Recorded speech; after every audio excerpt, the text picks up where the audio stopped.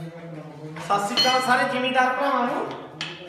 ਇਹ ਅੱਜ ਦੀ ਵੀਡੀਓ ਨਾ ਕਿਸਾਨ ਭਰਾਵਾਂ ਵਾਸਤੇ ਆ, ਜਿਨ੍ਹਾਂ ਨੇ ਫਾਰਮ ਟਰੈਕ 45 50 2000 ਮਣ ਤੋਂ ਥੱਲੇ ਜਾਂ 4700 ਰੱਖੇ ਬੜੇ ਸ਼ੌਂਕ ਨਾਲ, ਜਿਨ੍ਹਾਂ ਨੇ ਅਜੇ ਤੱਕ ਡਿਸਕ ਬ੍ਰੇਕਾਂ ਨਹੀਂ ਕਰਾਈਆਂ ਜਾਂ ਤੇਲ ਬ੍ਰੇਕਾਂ ਵਾਲੀਆਂ ਨਹੀਂ ਲਵਾਈਆਂ।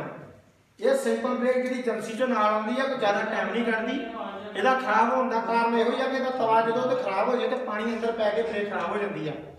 ਤੁਸੀਂ ਇਹ ਤਿੰਨੇ ਚੀਜ਼ਾਂ ਚੇਂਜ ਕਰ ਦੇਣੀਆਂ ਵਾ, ਤਵਾ ਬ੍ਰੇਕ ਲੈਦਰ ਕੰਪਲੀਟ TVS ਦੇ ਵਿਦ ਡਰਮ 4 ਤੋਂ 5 ਸਾਲ ਤੱਕ ਤੁਹਾਡੀ ਬ੍ਰੇਕ ਕਦੀ ਨਹੀਂ ਖਰਾਬ ਹੋਗੀ ਤੇ ਨਾ ਹੀ ਵਿੱਚ ਇਹਦੇ ਪਾਣੀ ਪਵੇਗਾ।